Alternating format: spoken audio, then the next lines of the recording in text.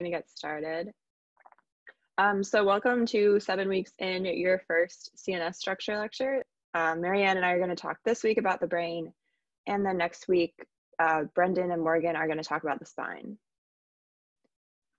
All right, so these are generally what we're going to talk about today. Um, we'll go over the external anatomy of the brain. Um, we'll talk about the normal arterial supply and the venous drainage and the general organization of the meninges. And then Marianne is going to talk about the how to correlate the major structures and regions of the brain with their functions. All right, so before we can talk about the brain, we're gonna start with the skull. Um, so the skull is actually made of about 22 bones and they're all gonna fuse together during development. Um, obviously when you're someone's delivering a baby, the baby needs to have its head compressed enough to make it out of the uterus. So the bones of the skull aren't fused to start. And then during development, they fuse. Um, where they fuse together, they form sutures, which are immovable joints between the bones. Um, so the skull itself is going to be formed of the cranium, which is the part that covers the skull, or covers the brain, and then the bones of the face. And so the major function of the skull is just to protect the very important brain and all the structures that are inside of it. And so obviously the skull is gonna protect the brain from all sides. Um, but as we talked about last week when we were doing HENT structure um, with all of the cranial nerves, there's a lot of structures that need to have a way to get in and out of the brain. So in order to do that, they obviously need to have a way of getting in and out of the skull itself. So the skull has a lot of holes on the base of it. Um, and in anatomy, we generally call holes foramen.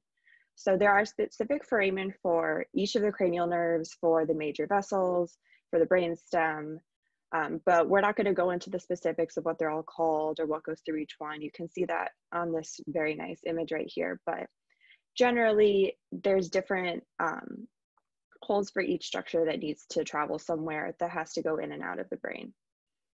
Um, you can also see that the base of the skull is contoured to the surface of the brain. So these are usually called fossa. They're indents where you can see that the structure of the brain itself would fit into the skull base. And so hopefully you can kind of picture here, if the brainstem is here, how the skull might fit onto the base of the, or how the brain might fit onto the base of the skull. Um, so an important thing to note though when talking about the skull, so since the sutures between all of the bones of the skull are fused immovably, um, so the skull is a container with a fixed volume. That means that if for some reason you have increased fluid or an increased mass within the skull, you can't expand the volume that the skull can contain. Um, so if you have something like bleeding or swelling or a tumor, the skull doesn't have any, the brain doesn't have anywhere to go because the skull can't get any larger, which means that increased pressure can lead to something called herniation of the brain. And this is super dangerous because you're essentially compressing the brain out through one of these really small holes on the base of the skull. Um, usually it'll go through the foramen magnum, that's where the brain stem is here, if you can see my mouse. Um, and so this is gonna compress very dangerously either the vasculature or the structure of the brain itself. Um, so in addition to being protective, occasionally the fact that the skull doesn't have the ability to distend can be a little dangerous to the brain.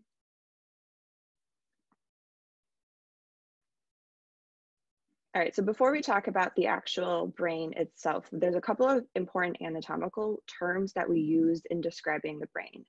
Um, so a gyrus, uh, plural that's gyri, is going to be the fold or the ridge that you see, the like distinctive bump that creates the um, kind of folded structure of the surface of the brain. A sulcus or plural sulci is the groove or indentation between the gyri. And then a fissure is going to be a large groove or the kind of cleft between two larger regions of the brain. Um, so these structures all go together to create the very distinctive appearance of the brain and it gives you a way anatomically to determine where you are within the brain when you're looking at the an imaging or if you're looking at the surface of the brain itself. Um, so the brain is divided generally into three major regions. You have the cerebrum, the cerebellum, and the brainstem. Um, sometimes you might hear them called the forebrain, the midbrain, and the hindbrain. You can see the diagram on the bottom left of the screen. Those are just based off of the embryological origins of the three regions of the brain. Um, it's also a fair way of naming them, but generally the cerebrum, the cerebellum, and the brainstem um, is more anatomically accurate. So the cerebrum is going to make up the majority of the brain. It's divided into two hemispheres, the left and the right, by the longitudinal cerebral fissure, which is going to go all the way down, creating a mid-sagittal section of the brain. Each hemisphere then is subdivided further by different sulci, and these are landmarks that you can use to uh, kind of partition out the four lobes of each hemisphere of the brain. Um, so there is the central sulcus, that's gonna separate the frontal and parietal lobes right here. There's the, it's also gonna mark the location of two super important cortical regions, um, the motor and somatosensory areas. Marianne's gonna talk about that a, li a little bit later, um, but just know that there is um, kind of anatomical indications that all of these sulci have. There's the lateral sulcus on the sides of the brain, and that's going to kind of delineate out where the temporal lobe is. And then in the back of the brain, there's a parieto-occipital lobe that's separating out, as the name would suggest, the parietal and occipital lobes. And then that's the whole cerebrum. And then you have deeper structures within it surrounding that we're going to talk about a little bit later. You have the cerebellum in the back here, that's that super folded region. And then in the bottom, connected to the spinal cord, you have the brainstem. So we're not going to go into the actual structure of brain tissue itself, but in general, the outermost layer of the cortex, which is the outer wrinkled region of the brain, it's called gray matter. In from that, we call white matter. Um, cortex itself, anatomically, microscopically, is going to have about, on average, six layers, and it's uh, kind of stratified from superficial to deep. Um, the cortex is also separated out into 47, um, they're called Brodmann areas across the hemispheres, and they have, they kind of indicate different cortical regions associated with different functions, um, but we're not gonna go into too much detail of all of this today because that gets a little specific. All right, so between the inner surface of the skull and the brain itself, there are three layers of connective tissue called the meninges. Um, they have important functions within the brain, so they are going to protect it along with the skull. They're going to form a structured support system for arteries, sinuses, and veins. And then they're going to enclose a fluid filled space where you can find the CSF. Um, so the three layers of the meninges are the dura, which is the thick, tough outer layer that's right by the skull. There is the arachnoid, which is a thinner inner layer, and then there is the pia, which is the innermost layer. Um, and so a mnemonic for remembering these is that the meninges pad the brain, PAD, pia arachnoid dura, um, from deep to superficial. So the dura is the thick outer layer, and it's actually made of two layers. The outer layer of the dura is called the periosteum layer, and this is essentially continuous the, with the inner lining of the skull. And then the inner layer of the dura is the one that is going to reflect and fold, creating these septa within different uh, fissures of the brain to kind of partition out different areas. And I'll go into that a little bit more in a different slide. So the dura, both layers of them, are supplied by meningeal arteries and innervated by several of the cranial nerves that we talked about last week, uh, mostly cranial nerve 5 and a little bit by 10 and 12. Um, the dura is the last part of the brain to receive innervation. Um, and so sometimes during surgery, it's the irritation of the dura um, that can lead to headaches and stuff postoperatively. So in from the dura, you have the arachnoid layer, the arachnoid mater. And so that's just a thinner middle layer that is pretty closely associated with the inner layer of the dura. And then the innermost layer of the meninges is the pia, and this is the one that adheres to the surface of the brain itself, and it actually follows the contours of the sulci and gyri that I talked about previously. Um, so you can think about the arachnoid and pia mater layers as the parietal and visceral layers of connective tissue that we talk about in the context of a couple of other organs. So in the same way that the lungs or the heart or the GI tract have their parietal and visceral layers, um, either of pleura or pericardium or peritoneum, the brain has a similar concept, which is that the parietal layer is the arachnoid layer and the visceral layer is the pia mater. Um, and then just the last thing to talk about for the meninges here is that if you've heard of meningitis, um, based off of the roots of those words, meningitis is inflammation of the meninges. And so anytime you have layers of connective tissue, you have the creation of spaces and they're either gonna be true spaces or they'll be potential spaces. So the only true space you have here between the meninges is the subarachnoid space. And importantly, this is where the CSF is found.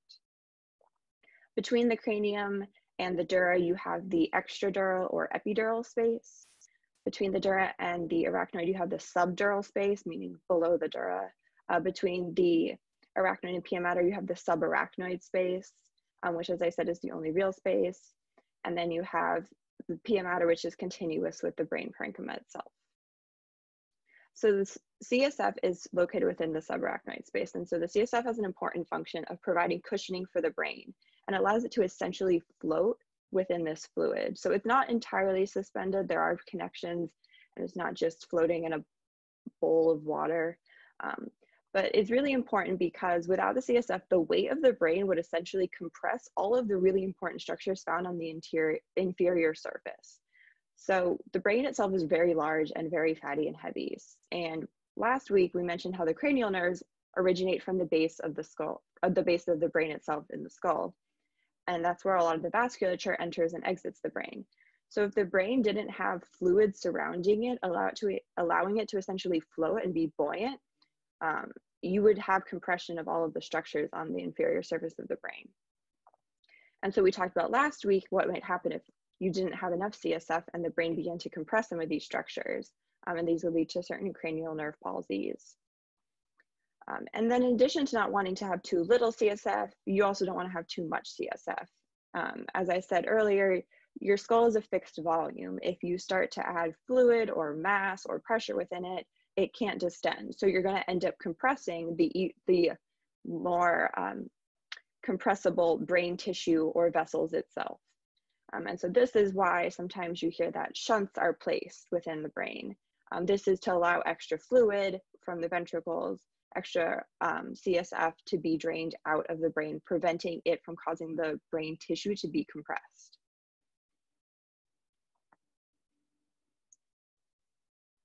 And so these other spaces that you have, um, I said are potential spaces, meaning that they really become relevant when they are pathologically filled with fluid.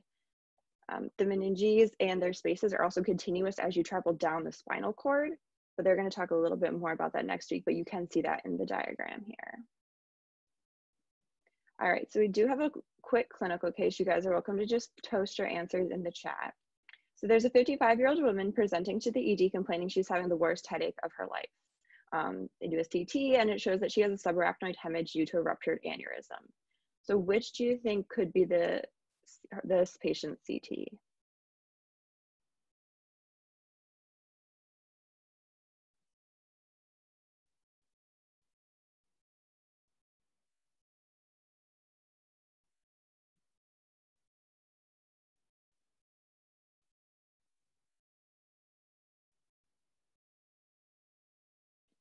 All right, so I'm seeing a lot of different answers here, and some of you are getting the right one. So the correct answer here and before I go in, I should have mentioned these are all axial CTs, and so therefore blood is going to appear bright, if that helps anyone.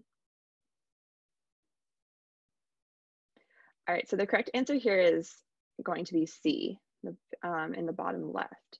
And so, as I said previously, the subarachnoid space is the only true space in the brain, meaning that when you have bleeding into this space, it's going to follow the contours of the brain. So you're going to start to see here, the arrows are pointing to the outline of the sulci and gyri because the blood is filling a space that already exists and it's kind of going in between the uh, arachnoid and the pia mater. Um, subarachnoid hemorrhages are generally caused, if not by trauma, by rupture of an aneurysm, and they present as this typical worst headache of your life uh, symptoms. Just talking quickly about the other ones, a is an epidural hematoma. It just forms this kind of distinct football shape. Epidural meaning it's above the dura, it's between the skull and the dura mater. And this is usually due to some sort of trauma that's going to fracture the skull and rupture a meningeal artery. Um, B over here on the upper right is an intraparenchymal hemorrhage. This means there's bleeding within the actual tissue of the brain itself. This is usually due to hypertension or something causing um, a small artery to rupture. And then the bottom right, D, this is a subdural hematoma. Subdural meaning it's below the dura, between the dura and the arachnoid. And this forms kind of a crescent shape along the uh, skull over here. And so this is a good, this picture here, the CT shows a good example of what happens when you have extra fluid entering the brain. Because this is not a real space. So fluid accumulating here is beginning to compress and distort the brain and it's causing a midline shift where there's so much pressure that it's essentially pushing one side of the brain into the other one. Um, technically, any of these hemorrhages can cause that to happen. This is just the only picture I included where you can see that. And then subdural hematomas are, or hemorrhages are usually due to a trauma that's going to rupture a vein. And so here is just a good diagram. Um, it's showing all different kinds of intracranial hemorrhages that I talked about. And this is just showing you where all of the fluid is, the blood is accumulating um, for the different kinds of hematomas or hemorrhages. Um, it's not pictured here and it's kind of hard to tell, but you also can have intraventricular hemorrhages where you do have bleeding into the ventricles.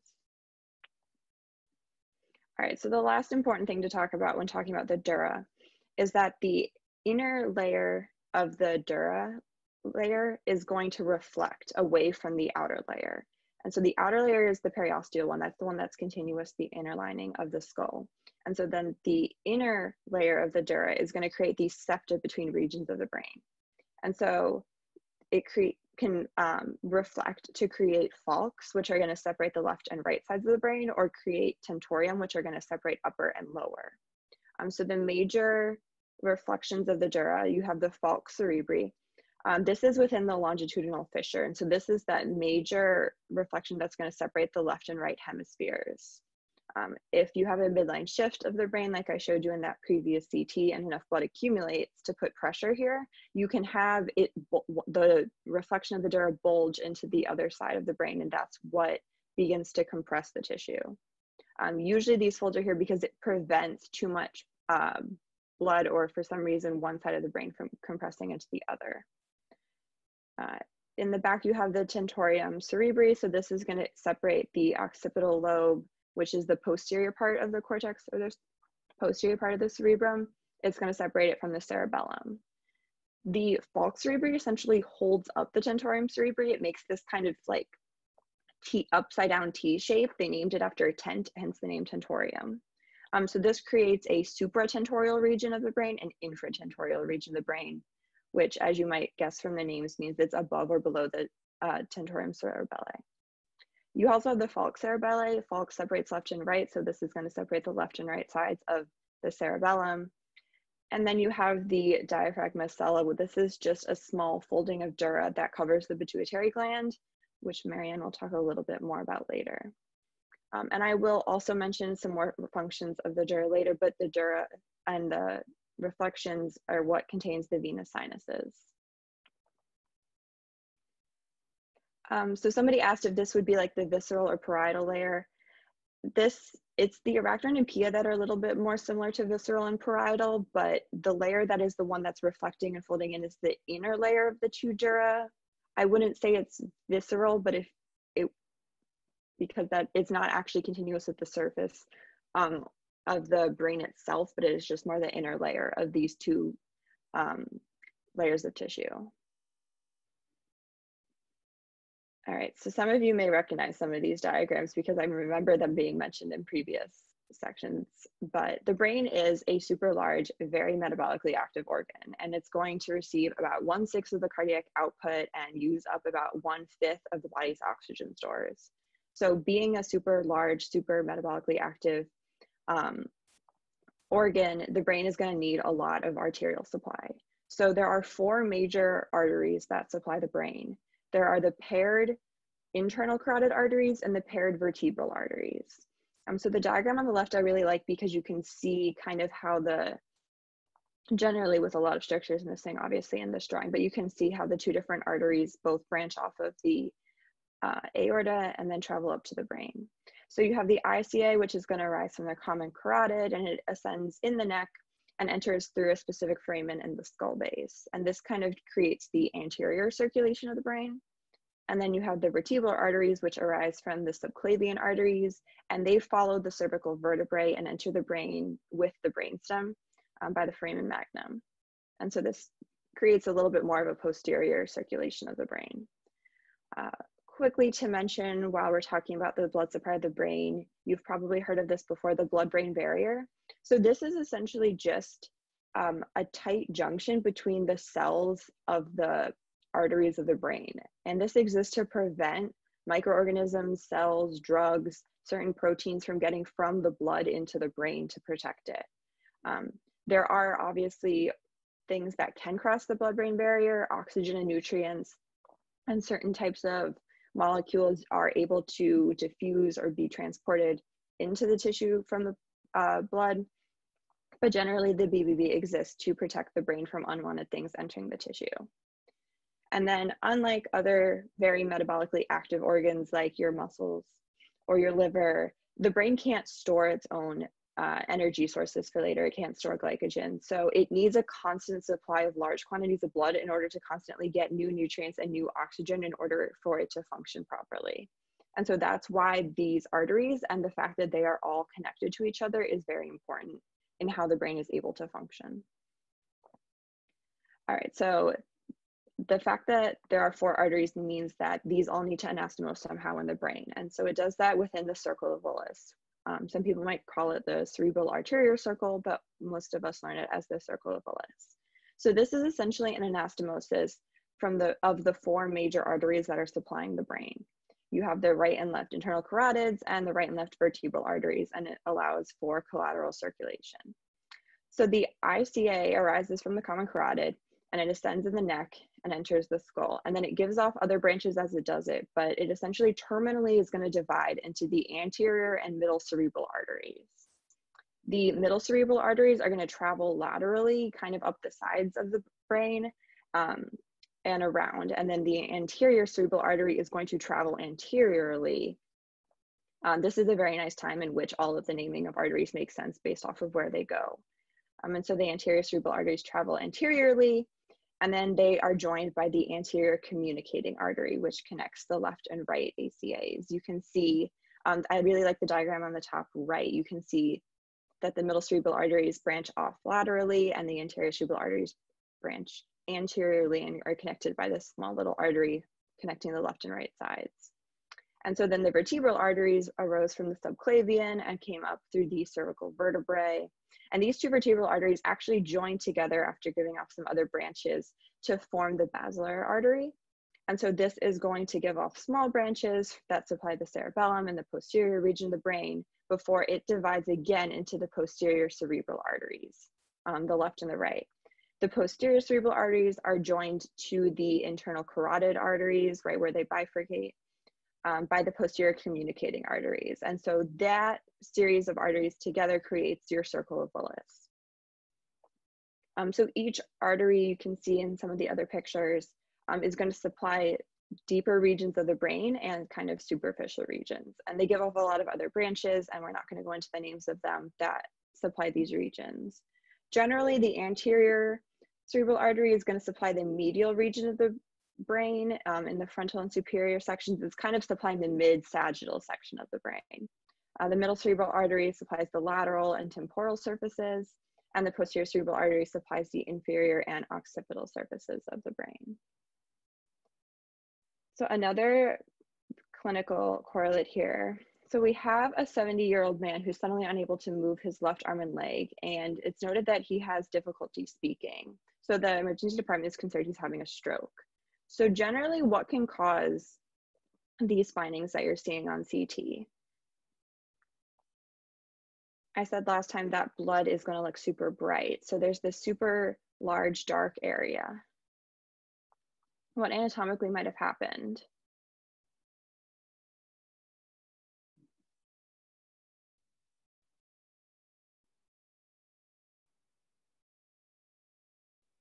All right, I see a couple of people starting to bring this up. Yeah, so if blood is going to be bright on a CT, lack of blood is going to look dark. So this is showing um, an ischemic stroke. Uh, could be caused by infarction, it could be caused by an embolism, something where essentially you're occluding one of these arteries I talked about, and blood is no longer being supplied to that region of the brain. And this is causing the tissue to die, um, as opposed to earlier in which you had a rupture of a vessel rather than a blockage of it, and that led to bleeding within the brain. Um, so this is an ischemic stroke. Here you're seeing the um, ischemia on CT. If these symptoms had resolved on their own within a short amount of time, does anybody know what they would have called it?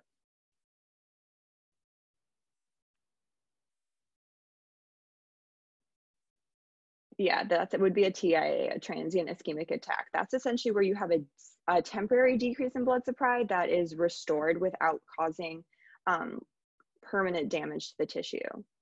And so quick explanation of an important concept that comes up when talking about ischemic stroke is called the penumbra. So essentially around the region of ischemic tissue that you have in an ischemic stroke, there's going to be a region that called the penumbra that is essentially still receiving blood, but it's a reduced blood supply. So it's not currently necrotic, but it is at risk of becoming necrotic. And so this is a super important concept because the penumbra is what everybody wants to save when a patient is having an ischemic stroke. If you can restore the blood supply to this tissue, it still could become viable again. Once the tissue becomes ischemic, um, the brain is unable to regenerate new neurons. It undergoes a coagulative necrosis, and that part of the brain is lost.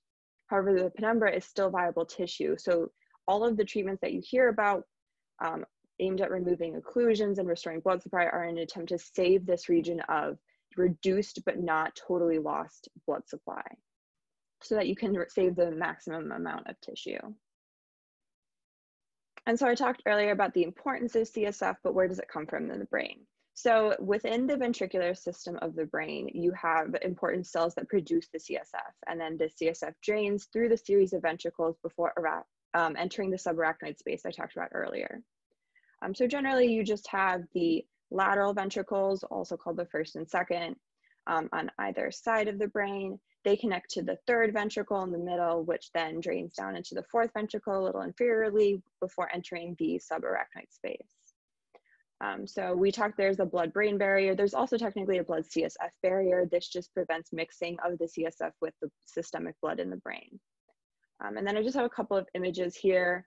On the top right, you have a CT. This is just showing the some of the ventricles. There are those dark regions kind of around the midline of the brain.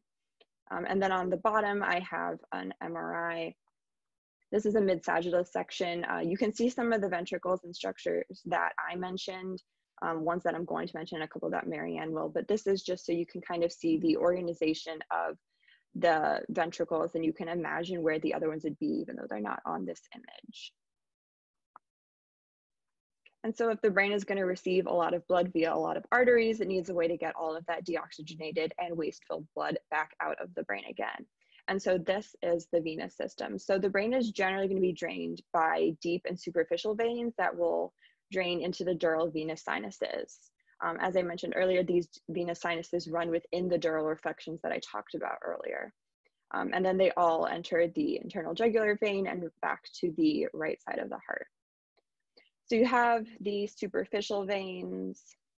I think I have another picture here, yeah. The superficial veins are going to drain into the superior sagittal sinus, which is this one that kind of runs along the mid-sagittal section of the brain. Um, within the reflection, the um, within the longitudinal fissure. And then you have deep veins that are going to drain into the great cerebral vein and combine into the inferior sagittal sinus and then form the straight sinus. So all of these three major sinuses are going to combine at the back of the brain in a very entertainingly named confluence of sinuses. Um, and then these drain from the, uh, the back kind of posterior region of the brain into the transverse sinus to the sigmoid sinus and then down into the internal jugular veins. Um, so all of these sinuses are located within different um, reflections of the dura. All right, so I mentioned before how important it is for the brain to receive all of its blood supply and be able to drain it all properly. So the best way to see this is with angiograms. So they're actually allowing you to see the vasculature of the brain, both the arteries and the veins. And they're generally achieved by injecting contrast into the arteries and then using CTs to image the brain as the contrast flows from the arteries to the veins. Um, there's some fancy inverting and subtracting images with in order to get these kind of distinctive appearances. So they're taken as a series of images over a very short period of time after contrast is injected so you can watch the progression of contrast. Um, so you can see as it fills the vessels that are supplied by whichever artery you inject the contrast into. And then you can watch as it goes from the arterial phase to the venous phase. I'm kind of highlighting different structures here.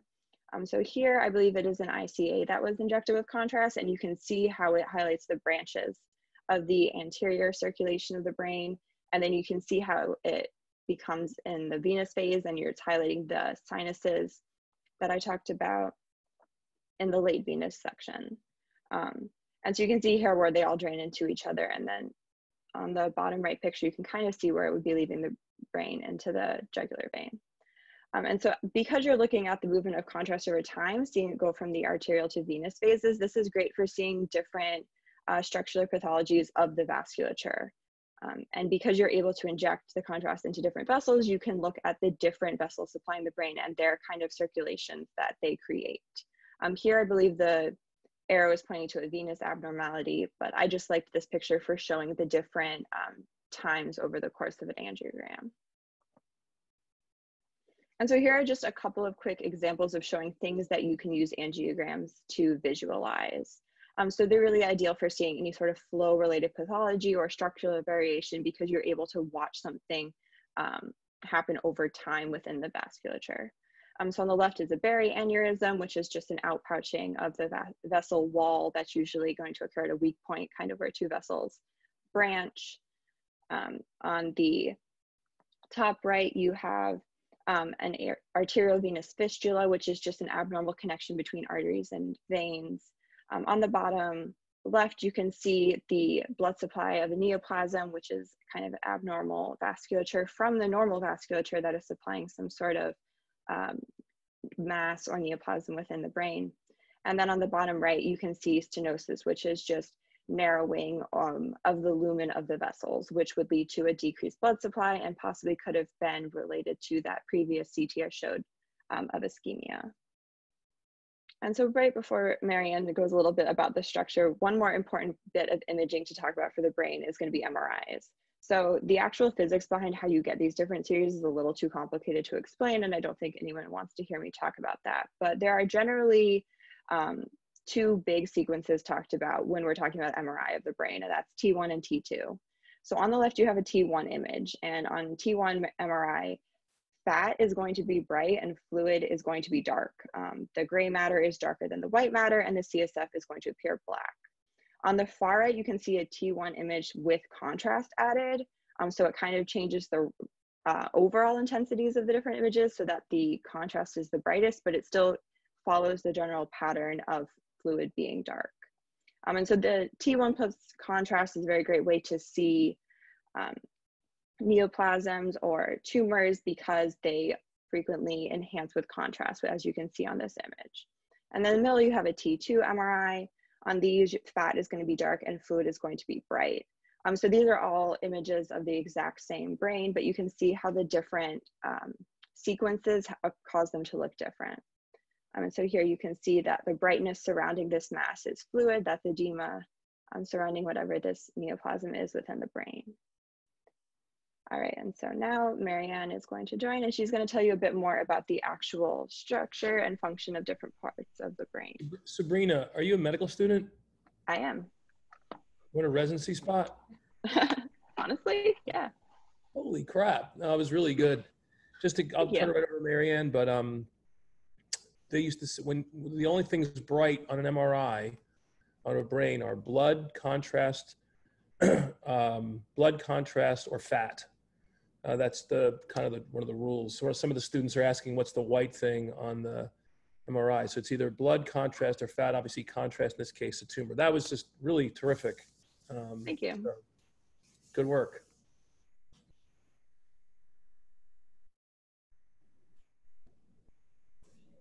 Okay, so I'm gonna now talk about some certain structures and functions within the cerebrum, cerebellum, and brainstem. Again, just quick disclaimer, this is an anatomy course, not a neurology course.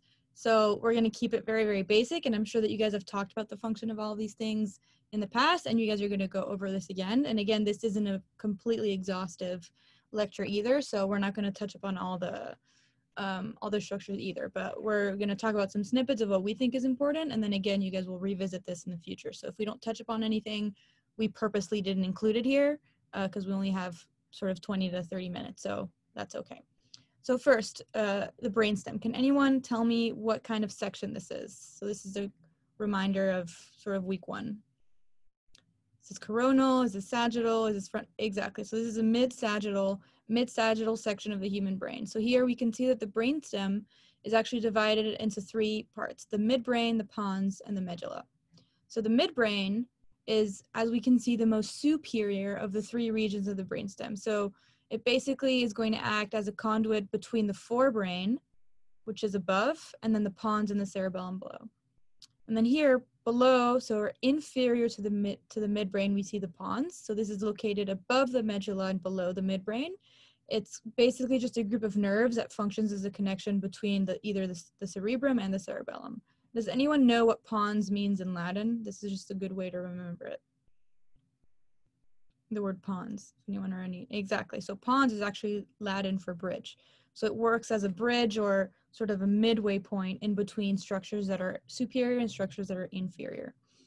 And then again, we have the medulla, uh, which is the most inferior of the three, and then it's continuous with the pons that is superior, and then below with the spinal cord. We're not touching with, we're not going to talk about the spinal cord this week. That's going to be next week, so uh, you guys will learn more about that. And so the medulla basically just houses essential nerve tracts and some nuclei. Uh, next slide. So the next slide um, is basically just a summary of the function. So I like to divide brainstem functions into three main categories. So first it has conduit functions. So what do I mean when I say conduit functions? It basically works as for stuff to go up to the to the cerebrum, the information has to go through the brainstem. So there's basically tons of fiber traps that are going to go fiber tracts that are going to go through. So either for sensory information from the spinal cord up to the brain or for motor information from the brain to the spinal cord. The brainstem so function number two is has lots of cranial nerve functions so as you guys learned last week uh, it basically is the site of origin for lots of cranial nerves and the site of emergence. So a lot of cranial nerves are going to go out and then it has what's I like to call integrative functions. So the brainstem not only functions as a bridge uh, and works for the work for the cranial nerves to come in and out, but the brainstem also has its own functions. So it controls things such as the level of consciousness, perception of pain, breathing, and tons of stuff uh, that works to regulate the cardiovascular and respiratory systems. Uh, next slide so now uh, we're going to quickly talk about sort of three structures. So again, can anyone tell me what you guys see on the left? So what kind of imaging it is and what cut? MRI, yeah. Exactly, and sagittal, exactly. So again, if you guys think of it, a lot of these structures, since it's mid-sagittal, they're structures that are deep within the brain because it's mid-sagittal. And does anyone know what the red arrow is pointing to?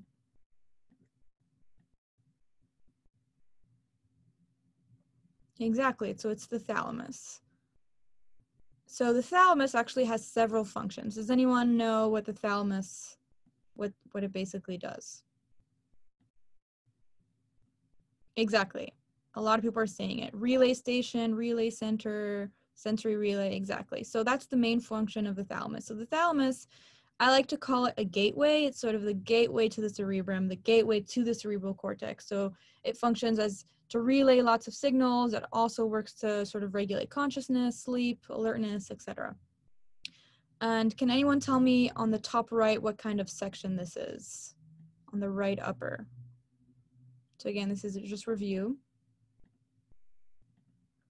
Exactly, coronal. So here we can see TH, that's thalamus. So you guys can see how deep the thalamus is. So we have structures that are more on the surface and then all these deep structures. So again, all these structures that I'm talking about are deep within the brain. So you can only see it in certain imaging, such as coronal, coronal imaging and mid-sagittal imaging. So that's the thalamus.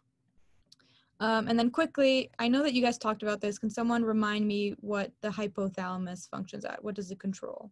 I'm pretty, I'm 100% sure you guys talked about this uh, in your BRAINterns seminar. So we got your hunger, memory, sleeping, exactly. So the hypothalamus basically is going to control the regulatory and homeostatic functions. So I really like the word homeostasis.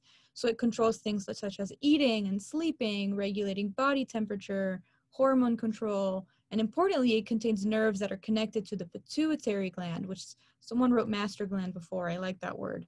So it enables it to control various hormones released by the pituitary gland. So can someone tell me what the pituitary gland does? Which you can see on the image on the bottom right. Releases hormones. Uh-huh. Does anyone know what hormones it releases? Someone wrote growth. endocrine organs.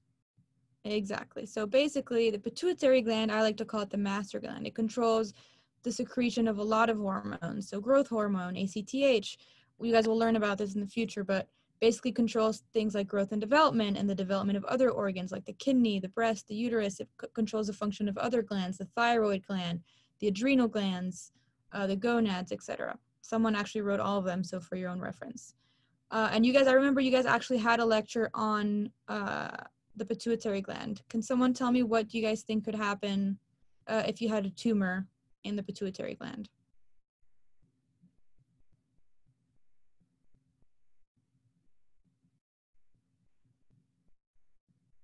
This is interesting because someone put excessive growth and someone put stunted growth, and you guys technically are both right because if you have a tumor in the pituitary gland, two things can happen. The tumor can actually compress the normal tissue, and that can cause for the normal tissue to then not be able to release hormone.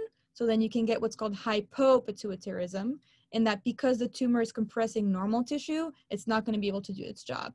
But then what can also happen is that the nor the the tumor tissue can actually secrete a lot more hormone than your body needs. So that can lead that can lead to sort of hyper, too much stuff. So someone wrote excessive growth. That's also right. If you have a pituitary tumor that's secreting growth hormone, then that can lead to things like gigantism and acromegaly. So you guys are all right. Perfect. Uh, next slide. So now we're going to talk about the cerebral cortex, which is one of my favorite parts. So in humans, 80% of the brain is comprised of cortex. So again, Sabrina talked about this in the first couple of slides. It's anterior and superior to the brainstem, and it consists of two hemispheres. I'm not going to repeat about all the sulci and gyri. Sabrina did a great job, but basically the central sulcus, lateral sulcus, you guys, if you guys do anatomy in the future, these are going to be great landmarks when you guys do anatomy. So basically the cortex is a thin sheet of tissue around like two to four millimeters thick, and it has many folds and grooves. Again, that's the common term. Sabrina talked about sulcus and gyrus. You guys are going to get need to get used to uh, using all these terms. So it basically just enables such a large surface area because there's so many sulci and gyri. It it's all it can all fit inside the skull. So each uh, and then basically it's divided into four lobes. So we have the frontal lobe, which is the most anterior, the parietal lobe, the occipital lobe, and the temporal lobe. So I'm just going to go quickly through all four and talk about functions, and then I have some quick questions for you guys. So the frontal lobe. Does anyone know what the function of the frontal lobe is? Someone wrote cognitive function, decision making, motor, thinking, central executive, decision making. You guys are all right, exactly. So the frontal lobe is what uh, there's motor function, so there's a primary motor cortex, but it's also responsible for lots of other things, such as higher intellect, controlling your personality, your mood, your social conduct, your language, your and all of your executive functions, things like decision making, inhibition of inappropriate responses, et cetera, et cetera. So can someone tell me, for example, what would happen if someone had an injury uh, to an area in the frontal lobe that's that's responsible for executive function? Someone wrote Phineas Gage. I like that. If you guys have time later, you guys should Google Phineas Gage rude responses, flat affect, change in behavior, impulsiveness, exactly. So lots of patients that have injuries in that area of the frontal lobe will have personality changes, impulsivity, uh, inability to sort of gauge social cues, someone wrote. Um, those are all great responses. So I encourage you guys to read more about that um, if you guys are interested. So number two, parietal lobe. Uh, so can someone tell me what the parietal lobe does?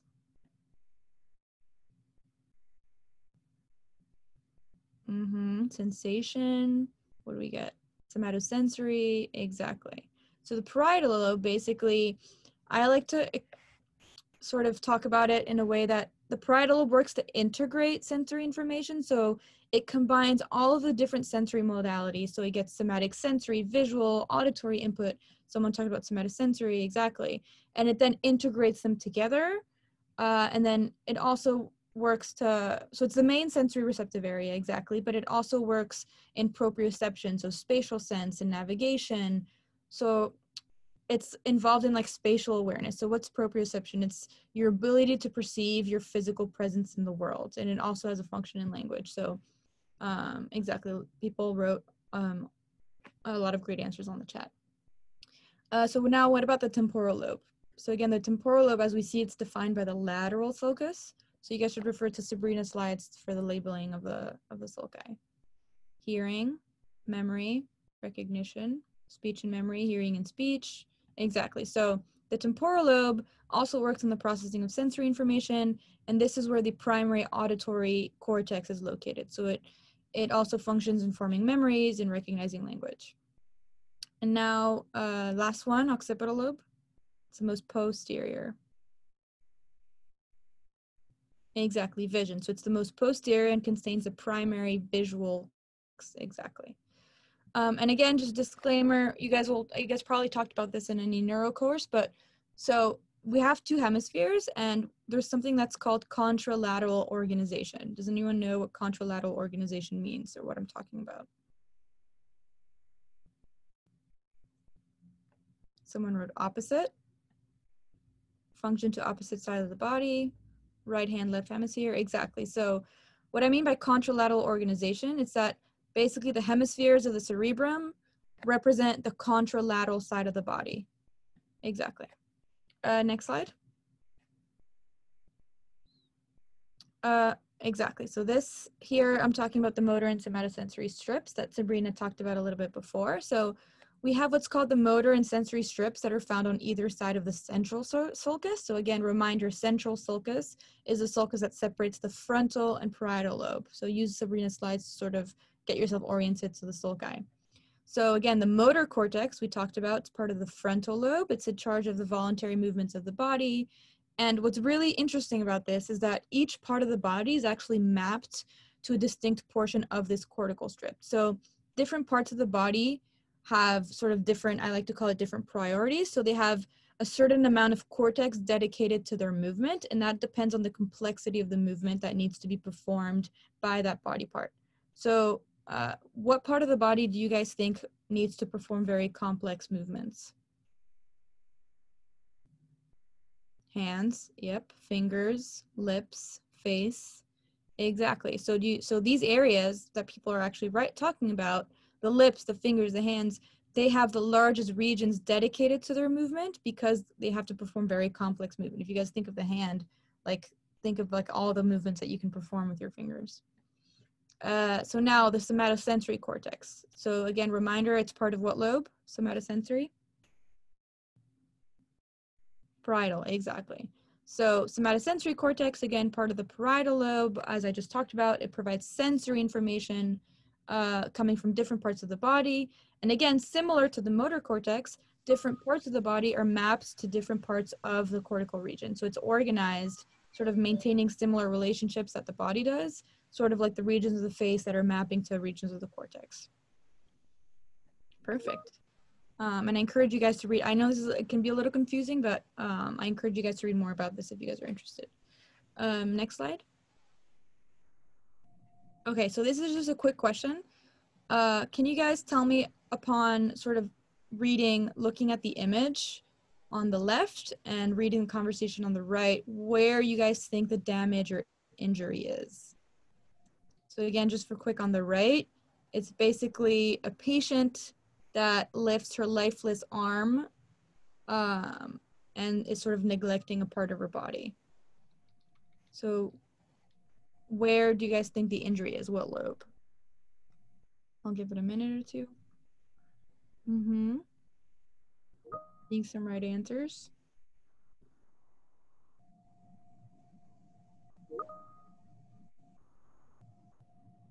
Exactly. So it's actually the parietal lobe. So again, let's remind ourselves what's the function of the parietal lobe. It integrates sensory information, its function is in spatial sense, navigation, proprioception. It also has a function in language, spatial awareness. It's where the somatosensory cortex is. So what's very interesting is that if you have an injury to a part of the cortex in the right parietal lobe, this can lead to disorders of perception and attention, attention and awareness. So there's something that's called neglect syndrome.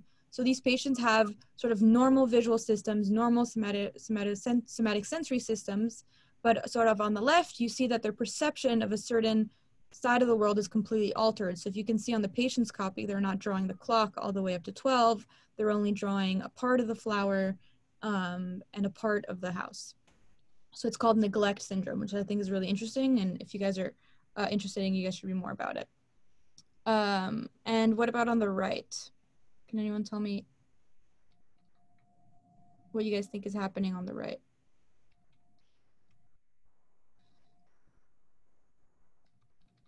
So yeah, it is hemispatial neglect. So some people are saying frontal lobe, people saying parietal lobe. So on the right, it's this um, something that's called asomatognosia. So it's a disorder that's characterized by the loss of awareness of the part of the body. So as you can see, Shirley is saying she lifts her lifeless left arm with her right arm to indicate what she's talking about, and she just doesn't acknowledge the fact that she has an arm. So it's very interesting. It's basically the failure to acknowledge a limb, and these disorders can happen when you have disorders when you have injury in the parietal lobe. So, uh, so these are just some snippets of like what can happen uh, when you have injuries. And again, um, it's called neglect syndrome and asomatognosia. So I, I wrote the notes uh, and I encourage you guys to read more about it if you guys are interested. Uh, next slide. So what connects the two cerebral hemispheres? So Sabrina and I were talking about sort of left versus right, but again, these two hemispheres aren't separated. These need to be connected for information to flow. Uh, so again, here it's called the corpus callosum. So the corpus callosum is basically just a sheet of axons that run the length of the cortex and that connects left versus right. However, can someone tell me in what scenario you would want to cut the corpus callosum? Exactly, seizure. So this is a procedure called the cor a corpus callosotomy. So it's an operation that cuts the callosum, sort of interrupting the spread of seizures from hemisphere to hemisphere. So basically, seizures don't completely stop after this procedure, but the seizures usually become less severe because they can't spread to the opposite side of the brain. Um, exactly. Oh, actually, someone actually talked about split brain. So I don't have that much time to talk about it, but uh, someone actually talked about split brain patients. So uh, people that get this procedure, which is a corpus callosotomy, become split brain. It's that in that the left hemisphere isn't connected to the right hemisphere. So they actually have very interesting deficits that if you do superficial exams, they have completely normal intelligence, intellect, all their sensory functions are intact, but they have certain deficits in that in when split brain patients are actually shown an image uh, on the left half of a person's visual field, they can't vocally name what they have seen. So any visual object that projects to the right cerebral hemisphere will only be known by the right visual cortex. And because the corpus callosum is severed, information can't travel from right to left. So that leads to a lot of interesting deficits. And I don't have time to get uh, to it now, but I encourage you guys to Google split brain patients on YouTube or on Google, and you guys can get some more information if you guys are interested in learning about these specific deficits. Uh, next slide.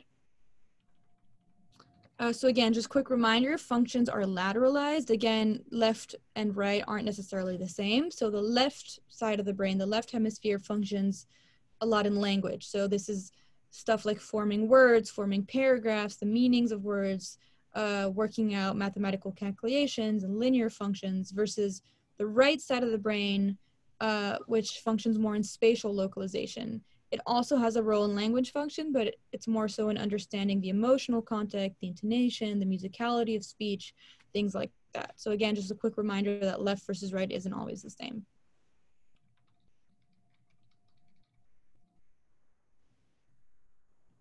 Uh, so this is something very interesting. Can someone tell me what aphasia means? So what an aphasia is?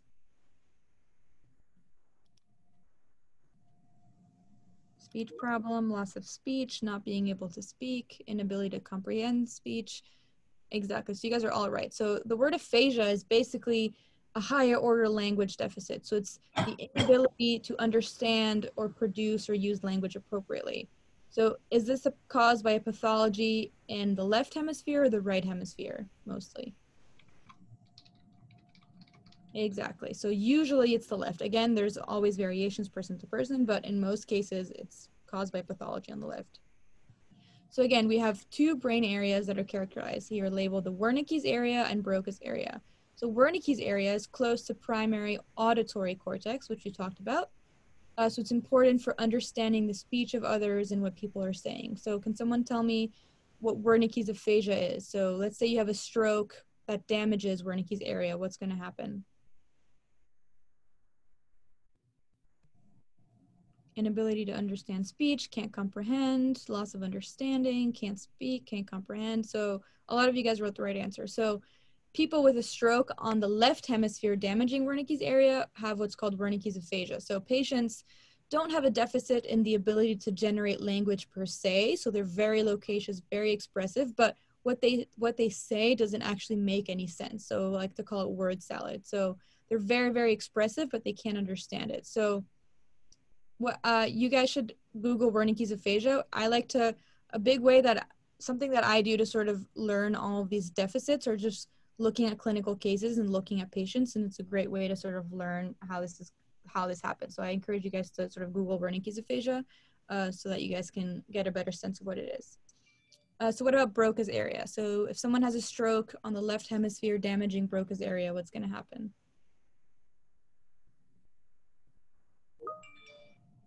Inability to produce speech, inability to form words, cannot produce words, can't talk. Exactly. So it's a deficit deficit in the ability to generate language. So there's no problem understanding the meaning of words and generating speech that actually makes sense, but the problem is that speech the problem is in speech generation. So their speech is going to be very very slow, very very labored and they're going to need a lot of rehabilitation. And again, I encourage you guys to sort of Google Broca's area and Broca's aphasia if you guys are interested in seeing some clinical cases and how this presents. Uh, next slide. So I only have a couple more minutes, but I'm just going to go quickly through these. So again, the cerebellum, Sabrina talked about it. What I find very interesting in that interesting is that it accounts for only 10% of total brain volume versus the cortex, which is 80%, but the cerebellum accounts for more than half of the brain's neurons. So it lies posterior to the pons and at the same level. So again, orient yourself anterior posterior it's posterior to the pons and it's responsible for lots of things. So it's responsible for coordinating and fine-tuning voluntary movements and for a number of functions including motor skills such as balance posture and coordination. Uh, and the next slide i only have a, a minute or two but you guys talked about this. Basically just a slide talking about the limbic system. We talked about the hypothalamus and the thalamus. There's also structures such as the amygdala and the hippocampus. So again the limbic system deals with emotions and memory. It regulates autonomic or endocrine functions. It's involved in reinforcing behavior. I'm not going to touch more upon this because I know that you guys talked about this.